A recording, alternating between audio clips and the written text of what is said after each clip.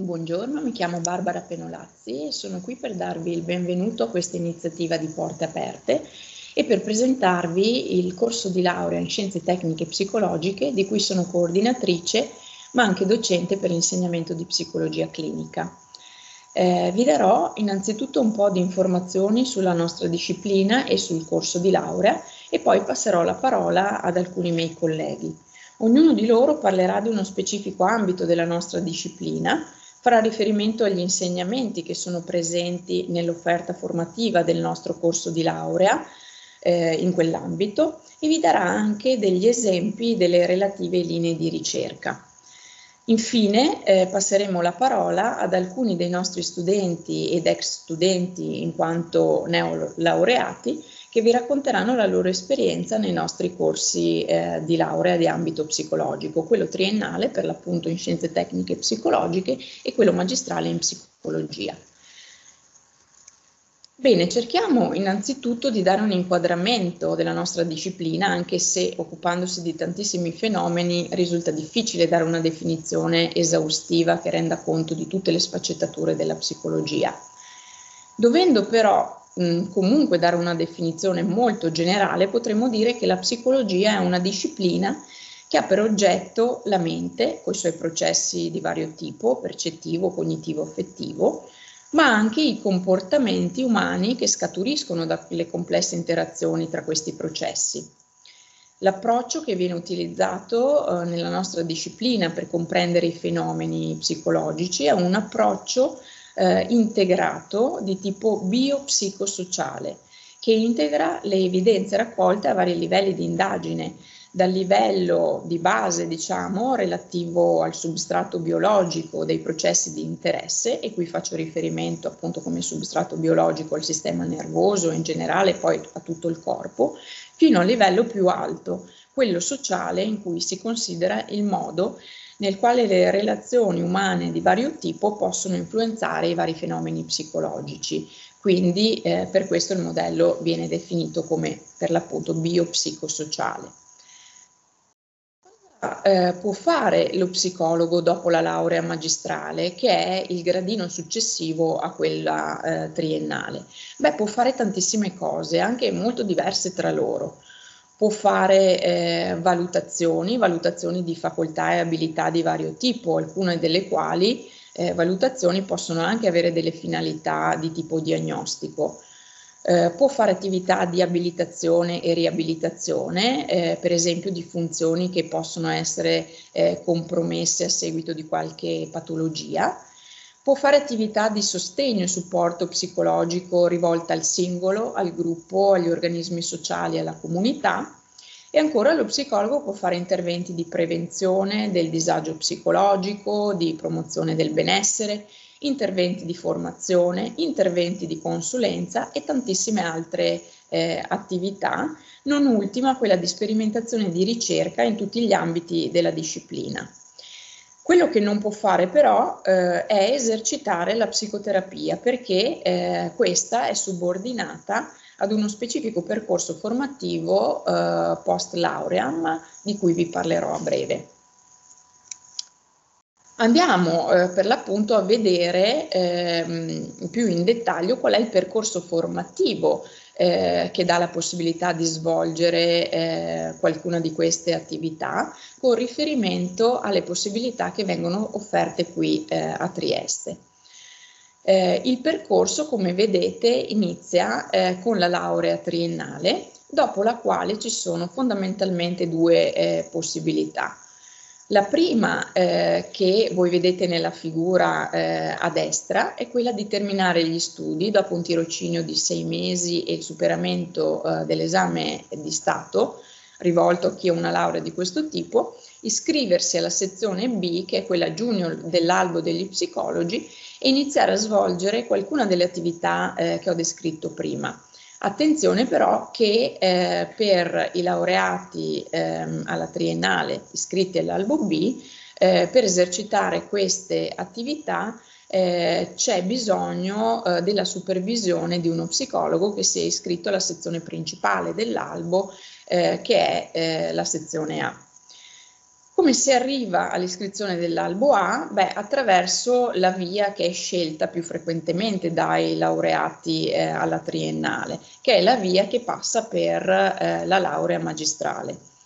Qui eh, a Trieste noi abbiamo per l'appunto, come vi dicevo, una laurea magistrale in psicologia che è caratterizzata dall'avere tre curricula, vale a dire tre percorsi specifici in cui eh, si approfondiscono conoscenze e competenze in, in, ambiti, in settori diversi della psicologia in base te- agli interessi di ognuno. Un curriculum è quello neuropsicologico e, e di psicologia clinica, un altro curriculum è quello di psicologia cognitiva applicata e eh, un altro curriculum ancora è quello di psicologia sociale e dello sviluppo. Oltre ehm, ottenuta la laurea, dopo un anno di tirocinio il superamento dell'esame di Stato, è quindi possibile eh, iscriversi all'albo A e poter svolgere una o più attività di quelle che vi ho descritto in precedenza. Dopo la laurea magistrale, per chi è interessato a proseguire la sua formazione, ci sono altre due possibilità, principalmente altre due possibilità.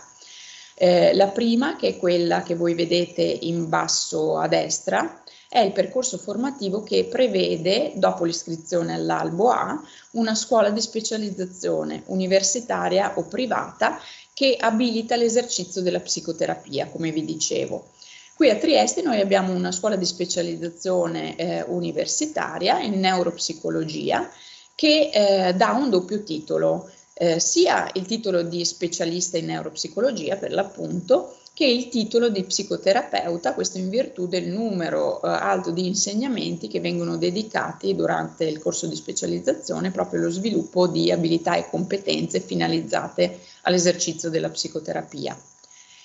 Una seconda possibilità dopo la laurea eh, magistrale per chi eh, avesse particolari interessi nell'ambito della ricerca nei vari eh, campi della psicologia è eh, quello di intraprendere la via del dottorato di ricerca e eh, qui a Trieste abbiamo un percorso di questo tipo con il dottorato eh, triennale ehm, in neuroscienze e scienze cognitive. Oltre a queste due possibilità, ci sono anche dei percorsi formativi relativamente meno impegnativi, generalmente di un anno, che sono quelli eh, offerti dai master di primo e di secondo livello a cui si può accedere rispettivamente con la laurea triennale e la laurea magistrale. Come vi dicevo sono generalmente meno impegnativi perché appunto di un anno e eh, approfondiscono delle competenze in ambiti eh, specifici della disciplina. Partendo dal primo livello di questo percorso, quindi dalla laurea triennale, come è possibile accedervi? Beh, ci sono 200 posti a disposizione ogni anno, tuttavia avendo sempre molte più domande rispetto a questi 200 posti, per accedere al corso di laurea occorre sostenere una prova di ammissione, prova che prevede di rispondere a vari quesiti a scelta multipla relativi a vari ambiti, ad esempio il ragionamento, la comprensione del testo, la biologia, la matematica, l'inglese. La graduatoria degli ammessi al primo anno viene poi stilata proprio sulla base dell'esito di questa prova.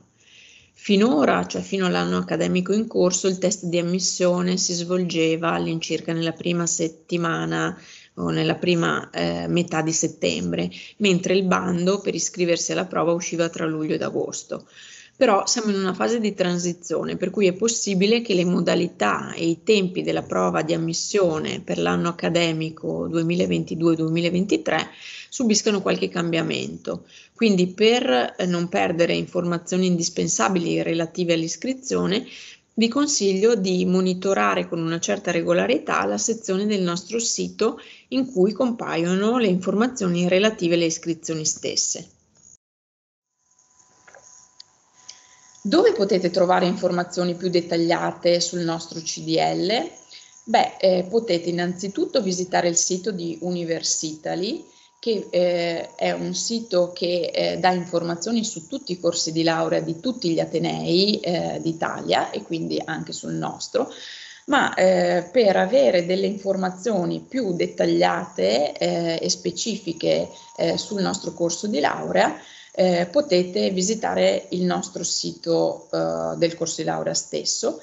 al quale si accede partendo dal sito del dipartimento cui il corso di laurea afferisce, vale a dire il Dipartimento di Scienze della Vita, che ha come acronimo DSV. Vedete qui eh, l'indirizzo, una volta arrivati eh, appunto al sito del Dipartimento ci si muove attraverso eh, le sezioni della didattica, dei corsi di laurea e delle lauree triennali. Questo è quello che si vede arrivati a questo punto e va selezionato, come vedete, il, corso, il terzo corso di laurea, che è quello che rimanda al nostro eh, sito eh, dove è possibile trovare informazioni dettagliate, come vi ho detto, su vari aspetti del corso di laurea stesso che ora ho trascurato per ragioni di tempo.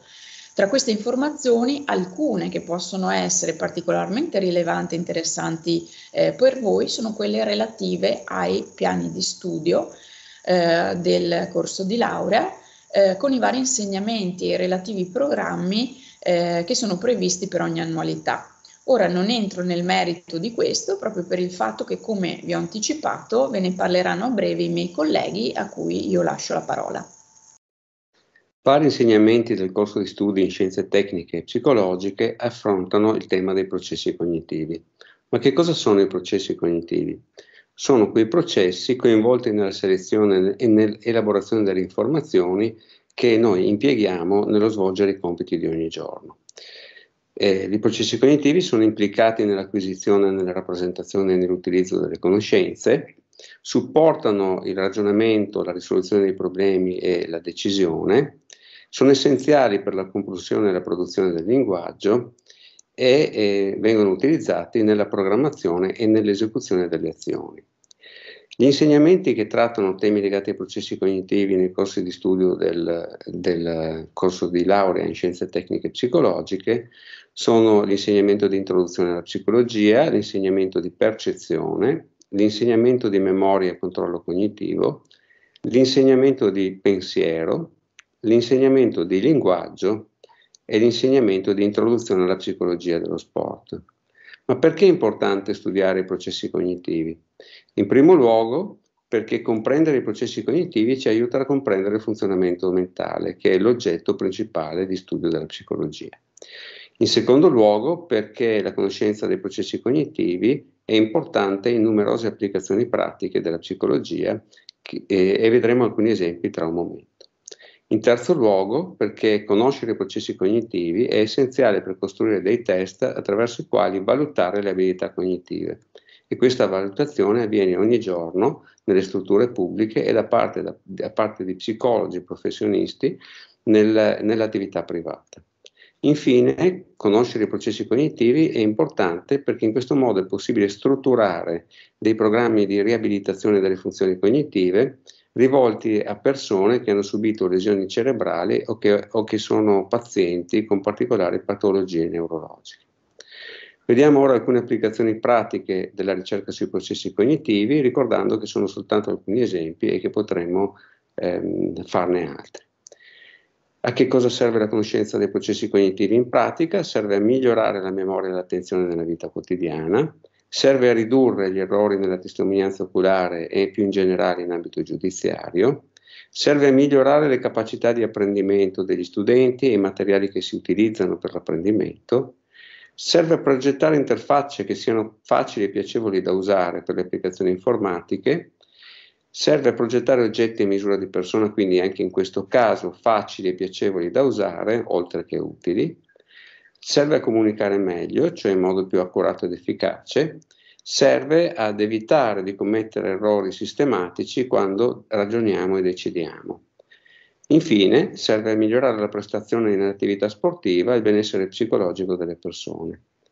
Eh, nell'ambito eh, dell'Università di Trieste ci sono dei laboratori di ricerca in psicologia che si occupano eh, dei processi cognitivi e affrontano vari temi legati appunto ai processi cognitivi, eh, accrescendo quindi la conoscenza in proposito. È importante ricordare che gli studenti iscritti ai corsi di studio di psicologia dell'Università di Trieste hanno l'opportunità di svolgere dei periodi di tirocinio all'interno di questi laboratori eh, integrando quindi la loro preparazione grazie alla partecipazione ai progetti di ricerca eh, in corso di svolgimento presso quei laboratori.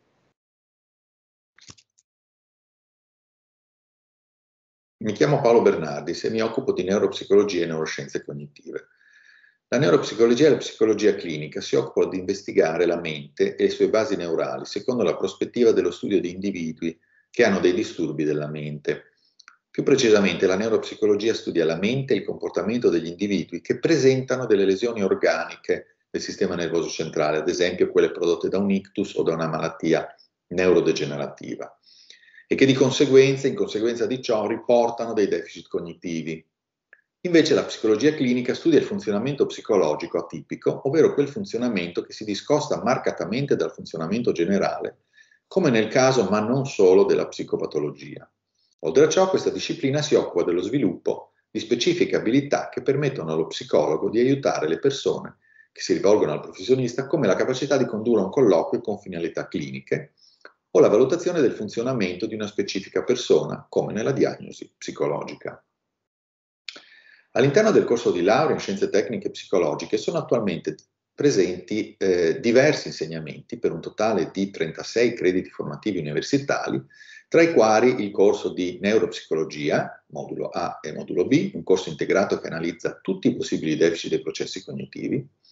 il corso di psicologia clinica che fornisce le basi teoriche del funzionamento psicopatologico e del suo trattamento, un corso di counseling psicologico che aiuta gli studenti a sviluppare le capacità cliniche di base. Inoltre sono presenti anche due insegnamenti, psicologia dinamica e un corso avanzato,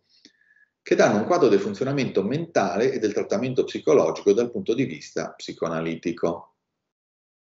Perché è importante la neuropsicologia e la psicologia clinica? Per diversi motivi eh, rilevanti. Il primo è la comprensione delle basi neurofisiologiche del funzionamento mentale, per la comprensione del funzionamento mentale atipico psicopatologia in una prospettiva che integri il livello neuropsicologico e quello psicologico e per la costruzione di abilità di intervento per la diagnosi, il trattamento e la riabilitazione psicologica ed anche neuropsicologica. Se vogliamo fare qualche esempio di applicazioni pratiche di queste due eh, discipline, potremmo dire che le competenze acquisite nell'ambito della neuropsicologia ci consentono di fare valutazione dell'efficienza cognitiva, ad esempio per una valutazione di idoneità alla guida, diagnosi neuropsicologica, riabilitazione di pazienti e dei loro eh, deficit cognitivi ed infine anche il loro reinserimento sociale, domiciliare, lavorativo e o scolastico mentre per quel che riguarda le applicazioni della psicologia clinica si mira a una comprensione delle unicità della singola persona che si rivolge a noi, evitando quello che viene chiamato l'etichettamento diagnostico.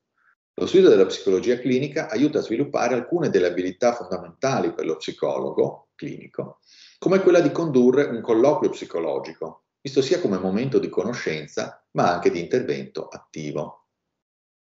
Infine abbiamo diversi docenti e laboratori che in questi due ambiti di ricerca fanno eh, eh, ricerca sperimentale. Nell'ambito percezione, attenzione, azione c'è il laboratorio del sottoscritto, nell'ambito ippocampo, memoria e coscienza temporale c'è il laboratorio del professor Gianfranco Dalla Barba, nell'ambito psicologia clinica abbiamo il laboratorio della professoressa Barbara Penolazzi e infine nell'ambito psicopatologia clinica e sperimentale c'è il laboratorio del professor Igor Marchetti. Per maggiori informazioni potete, potete consultare il sito web che vedete qui riportato. Buongiorno, sono Cinzia Chiandetti e eh, sono una docente del corso di laurea in scienze tecniche e psicologiche. Le neuroscienze si occupano dello studio del sistema nervoso e del cervello, si avvalgono di tecnologie e strumenti all'avanguardia che ci permettono in un certo senso di vedere come lavora il cervello. I livelli di analisi chiaramente eh, del, del, sistema nervoso variano da quello particolare eh, del comportamento delle molecole, delle cellule, a quello generale, di come l'attività del cervello crea eh, la mente. Le neuroscienze si studiano quindi in un corso di laurea di psicologia perché ci consentono di comprendere le basi biologiche dei processi cognitivi, i meccanismi del funzionamento di processi come percezione, attenzione, memoria e ci portano a comprendere come si generino le nostre esperienze mentali, il nostro comportamento, a partire proprio da un macchinario biologico, il nostro cervello il nostro corpo, comprese poi quelle che sono le disfunzioni eh, che eh, danno origine alle diverse patologie. Nell'ambito delle neuroscienze, durante il corso di laurea eh, in scienze tecniche e psicologiche troverete biologia genetica al primo anno, neurofisiologia al secondo anno e introduzione alle neuroscienze cognitive al terzo anno. Il percorso, che può continuare nella laurea magistrale in psicologia, come avete sentito all'inizio della presentazione, include anche il dottorato in neuroscienze e scienze cognitive grazie al quale è possibile proseguire gli studi e la ricerca nelle tematiche che vi ho descritto. È possibile però entrare in contatto con la ricerca già con le attività di tirocinio, per esempio nel laboratorio di neurofisiologia è allo studio una patologia rara del neurosviluppo, si manifesta in età pediatrica e i sintomi principali sono la paraplegia spastica e il ritardo mentale. Ebbene, attraverso esperimenti in vitro e in vivo si vuole comprendere quali sono i meccanismi molecolari e cellulari che provocano l'insorgere di questa patologia, al fine di identificare possibili target terapeutici per progettare poi una cura per eh, la patologia. Nel laboratorio di elettrofisiologia, per quanto riguarda il controllo motorio in individui con e senza deficit cognitivi, la ricerca indaga come il sistema cognitivo pianifichi e controlli il movimento. Ad esempio, nella malattia di Parkinson, che è una malattia degenerativa che porta a una progressiva perdita della capacità di muoversi e a declino cognitivo, si studia come sia possibile alleviare i disturbi motori con protocolli riabilitativi eh, basati sull'utilizzo di strategie cognitive. Nel laboratorio di cognizione animale si compara il comportamento di esseri umani, bambini e adulti e eh, altri animali come i pulcini per studiare l'ipotesi, ad esempio, che una spiccata sensibilità ai segnali ambientali legati all'uso, al consumo di sostanze d'abuso, alcol, ma anche gioco o cibo, possa rappresentare un discrimine tra chi riesce a fare un uso ricreativo delle stesse e chi invece svilupperà una dipendenza caratterizzata da ricerca compulsiva e ricadute, cercando quindi di capire, grazie al modello di animale, animale quali caratteristiche sono eh, predisposte e quali invece sono modificabili dall'apprendimento. Mi chiamo Andrea Carnaghi e mi occupo di psicologia sociale e di comunità. La psicologia sociale e di comunità si occupa dell'interazione tra gli individui e l'ambiente sociale, in particolar modo di come gli individui sviluppano delle conoscenze riguardo a se stessi e agli altri e come queste conoscenze influenzano l'interazione che noi abbiamo appunto nell'ambito uh, sociale. Uh, la psicologia sociale di comunità utilizza sia metodi quantitativi che metodi qualitativi, sebbene qua a Trieste noi prediligiamo metodi di tipo quantitativo e in particolar modo metodi sperimentali. Uh, svolgiamo sia ricerca di base sia ricerca applicata, quindi svolgiamo sia ricerca di, di, di laboratorio e i risultati della ricerca di laboratorio solitamente informano poi i processi uh, di um, progettazione programmi di, per esempio di prevenzione negli ambiti sociali di comunità. La psicologia sociale di comunità eh, prevede diversi corsi che sono appunto la psicologia sociale primo anno, la psicologia di comunità secondo anno e poi la psicologia dei gruppi e la laurea magistrale.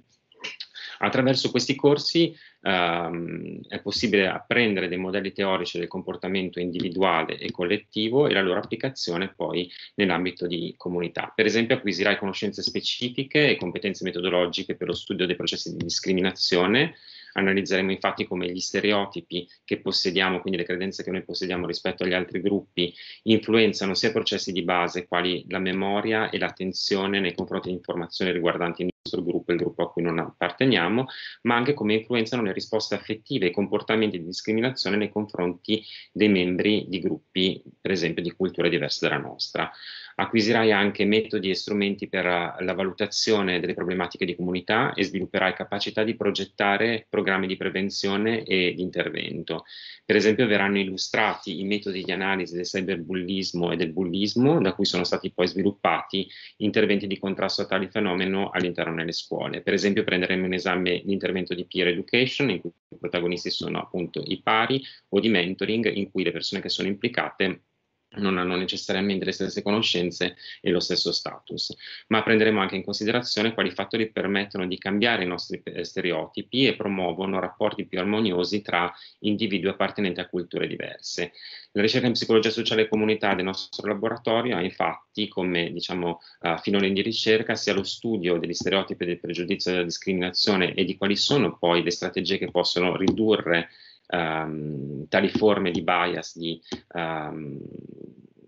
di interazione diciamo, eh, negativa tra uh, individui appartenenti a gruppi differenti. Analizziamo anche bullismo e cyberbullismo nelle scuole e progettiamo programmi di intervento finalizzate al contrasto di tali fenomeni e, ci occupiamo anche di gender studies, come per esempio l'oggettivazione e la sessualizzazione delle donne in ambito pubblicitario e non solo, ma anche della rappresentazione della discriminazione di alcuni eh, degli individui che appartengono a um, minoranze di tipo uh, sessuale o minoranze legate appunto al um, genere identitari uh, minoritari. Se volete più informazioni trovate il link qui sotto. Buongiorno a tutti, mi chiamo Sandra Pellizzoni e insieme alla collega Maria Chiara Passolunghi ci occupiamo di una specifica branca della psicologia che si chiama Psicologia dello sviluppo e dell'educazione, che è il settore scientifico disciplinare che studia l'evoluzione e lo sviluppo del comportamento umano dalla nascita alla morte rispetto a funzioni rilevanti quali la memoria, il linguaggio e la comunicazione, lo sviluppo emotivo, lo sviluppo atipico oppure lo sviluppo atipico. Durante il percorso di laurea in scienze tecniche e psicologiche vengono erogati due insegnamenti di psicologia dello sviluppo,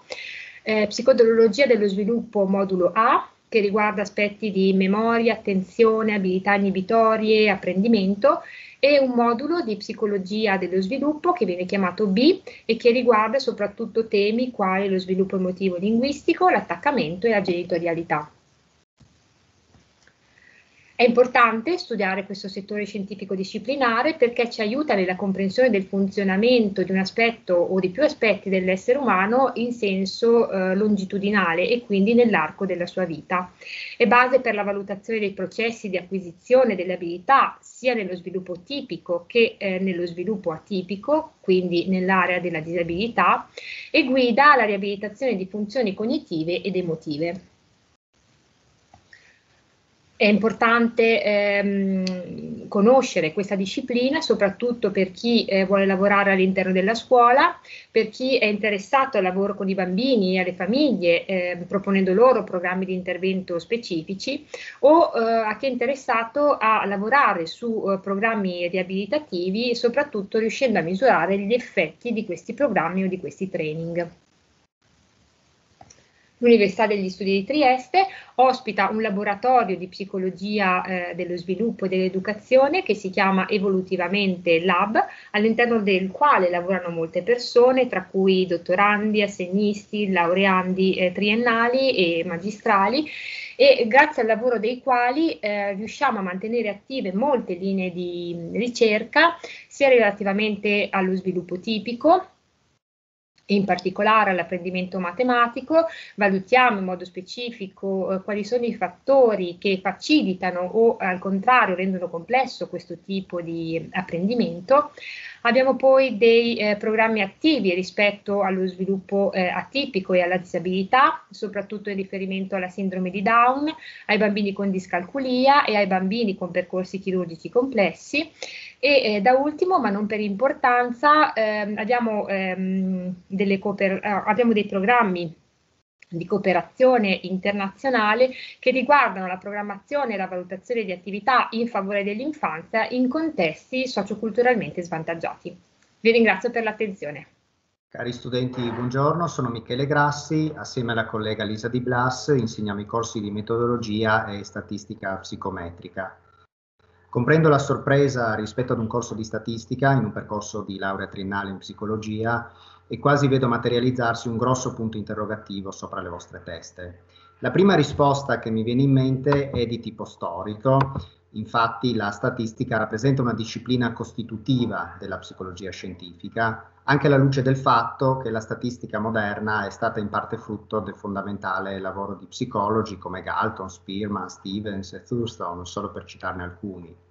Il suo ruolo formativo nel corso di laurea in psicologia è fondamentale in quanto lo psicologo si avvale di metodi statistici, direttamente se fa ricerca o indirettamente se applica i risultati che ne conseguono, interpretando quindi i risultati di tali ricerche. In questa prospettiva il corso di basi statistiche per la psicologia, eh, offerto al secondo anno della laurea triennale, eh, offre delle tracce per utilizzare in modo appropriato i metodi di base per l'analisi dei dati in psicologia. Metodi utili al fine di organizzare i dati, gli psicologi devono saper presentare i dati in modo facile da comprendere, anche mediante strumenti grafici di rappresentazione delle informazioni, devono saper descrivere un fenomeno psicologico e i suoi correlati, cioè i fenomeni con cui tende a presentarsi assieme, e devono saper trarre delle inferenze statistiche. Eh, la psicometria eh, rappresenta quell'ambito di studi elettivo che fornisce strumenti eh, per dare forma ed evidenza alle nostre idee o ipotesi.